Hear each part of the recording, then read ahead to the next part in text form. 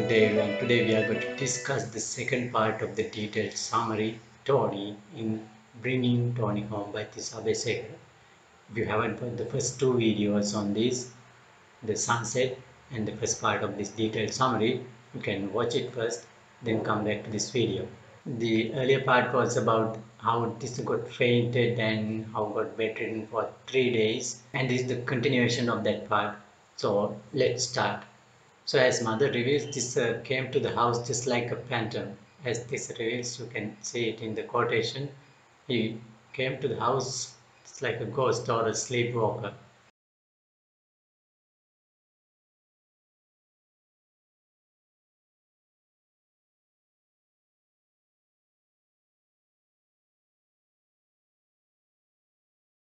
So as this says, uh, he had been ill for three days. So after the collapse, he had been sick, blazing with fever and speaking in delirium. So after three days pause, he gets up and he sees Tony was not there. But uh, we don't see a surprise on the part of this uh, because in his heart he knows this is something to be happened. So he had done something to bring Tony back in his heart, he must have known the fact that Tony cannot stay in this small house. So you can see this in the quotation.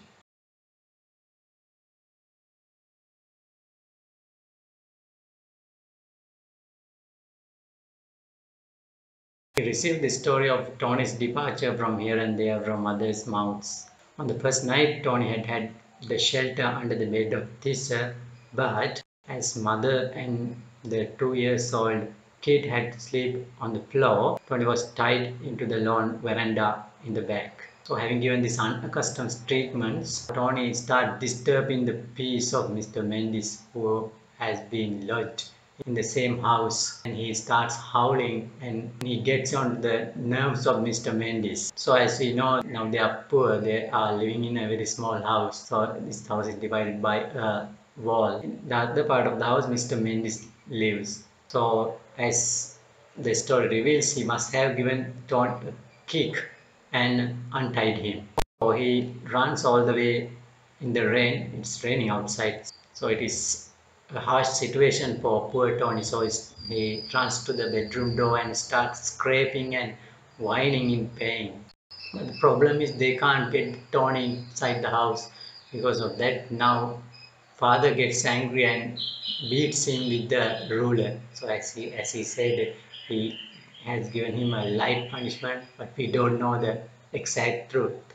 After this commotion, mother had to tie him again in the front veranda. So it is somewhat uncomfortable because, because it is raining outside.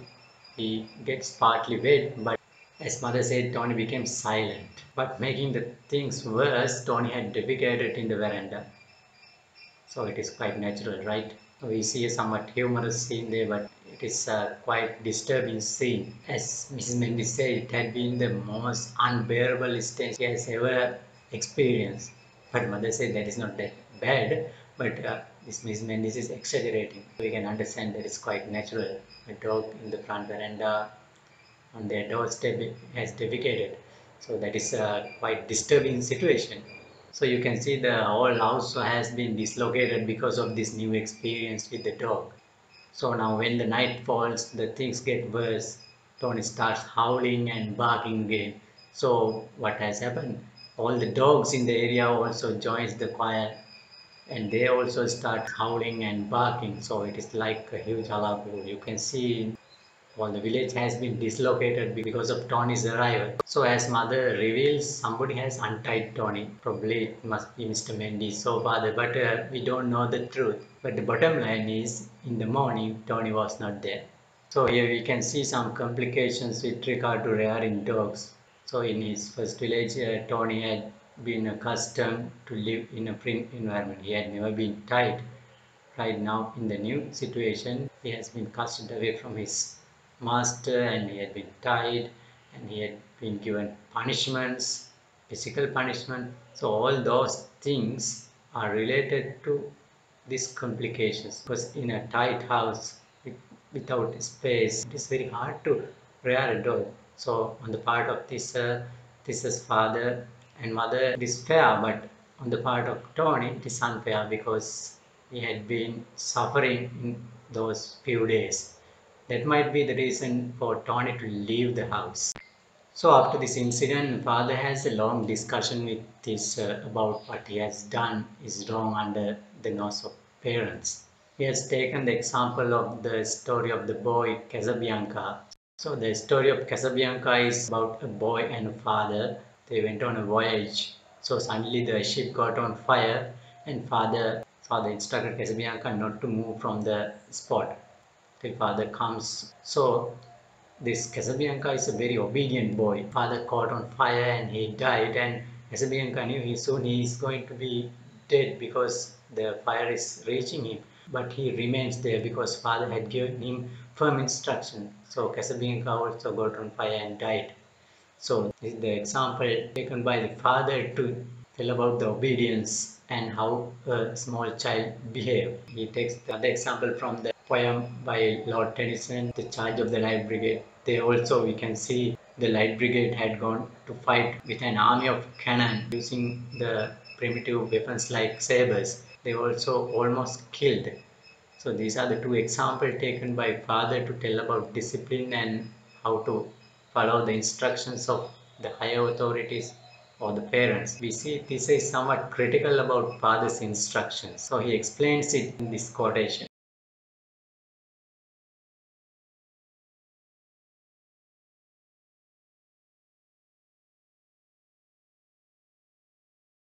The father's conclusion is Tony is an ungrateful animal.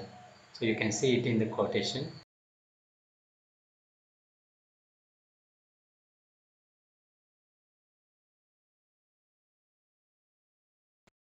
But we can see mother is somewhat sensible about the emotions of the young boy. So she gives a sensible answer about Tony's departure. You can see that quotation also.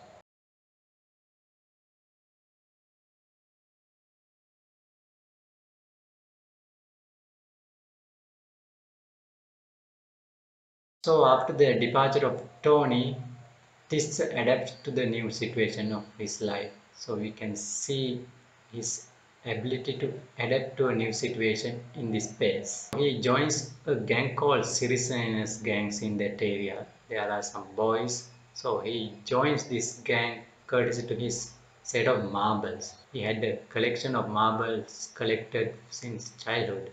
So he uses these marbles to join. However, he is an amateur. He loses most of his marbles, but he doesn't mind because he could get the permanent membership of the gang because of these free marbles. Member of boys in this gang is Sirisena and Unidas, uh, Ranal and Ratnapal. But everybody calls this Ratnapala as Telia. So it has a long story. So it is quite interesting story. You must read that. So when Tissa was in Depanama, mother had not given any chance for Tissa to play outside with the other boys. He was brought up inside the house, so he was not allowed to go to outside of the house because mainly because he was a sick and feverish child as story says. But mother has been indifferent to Tissa's new behavior. So we can see it in this quotation.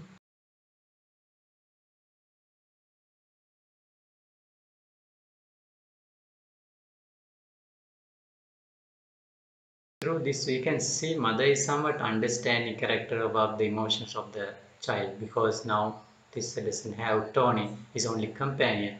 Now mother understand he needs a new company, he needs to move on with this life.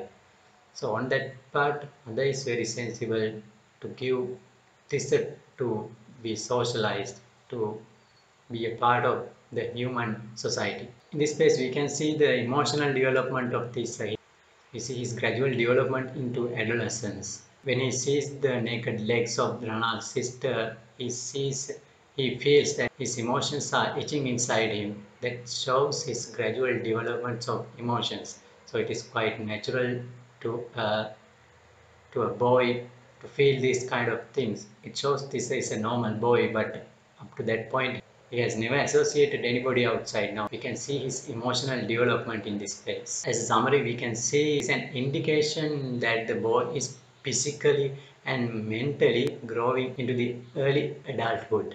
The freedom with the boys brings some light to the sad life of this. Slowly makes him forget about his only companion, Tony. But things are going to be changed because mother sends him to Depanam again to bring some money borrowed from Mrs. Lawrence. This is a landmark day of Tissa and Tony in the story. This is where Tissa meets Tony for the last time in his life.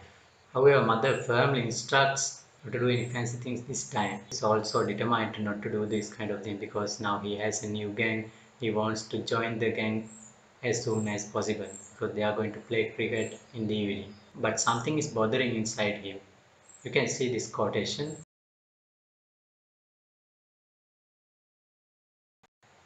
So we can see his only fear is to meet Tony again. Why does he fear to see Tony again? That is, he knows that he cannot bring Tony back. So meeting Tony means just like hurting both of them because Tony has no chance to come back to his master. So, so this decides to finish his job as soon as possible and join his gang. So when he meets his old friends called three brothers, Piyasena, Jayasena and Jinadasa, he evades them because he doesn't want to linger around because he doesn't want to stay there he knew that uh, if he stays there, there is a bigger possibility to meet Tony again. So he wants to finish the job as soon as possible and come back. To his consolation, he gets the news from the Lawrence Pereira's house that Tony has found a new house. So you can see that in this quotation.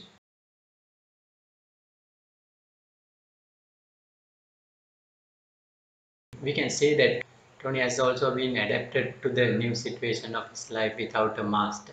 So he has found a new house. He has found a new way to live. Let's see what will happen now. But somewhere in the mind of this, he knew that Tony would appear and meet him. There is a psychological thing that shows he has the desire to meet Tony because he had been a, his only companion for a long period of time. So in his heart, he knew that. So it's like an instinct that uh, Tony would come and meet him. So it happens. So he meets Tony. He suddenly comes from nowhere and meets him. It's not the dog he used to know. It has been a distorted form of the dog he has seen.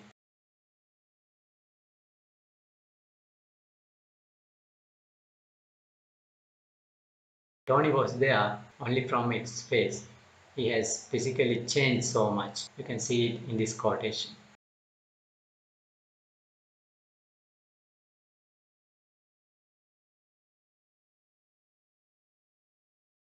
So we can see this new form of Tony creates a scar in the heart of this uh, because he sees that dog has become a stray dog. Sores all over, wounds everywhere, but he sees Tony's loyalty is the same and his love is the same. He understands this, this everything happens because of them. Because of them, Tony has lost his care and the house. This meeting creates an everlasting scar of grief in the heart of Tissa as he sees what has happened to his beloved dog after they left him behind.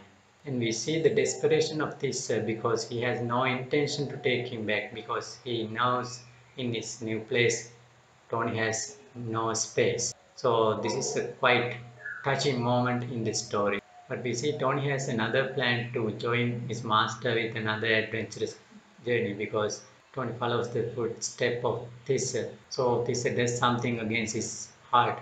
He buys a bun from the boutique and bribes Tony with that bun and uh, while Tony is eating the bun he turns back and runs as fast as he could this is the last time this sees Tony and the other thing is he has no intention to see Tony again his word says that you can see this in this quotation